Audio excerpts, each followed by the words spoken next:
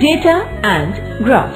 Robbie Mouse is here to tell us how to make a data table. He counts the eggs on the table. 1, 2, 3, 4, 5 and 6. So the object is x and their number is 6. Robbie writes this and now counts the toffees. 1, 2, 3, 4, 5, 6, 7, 8 and 9. Robbie now writes toffees in the object column and 9 in the number column.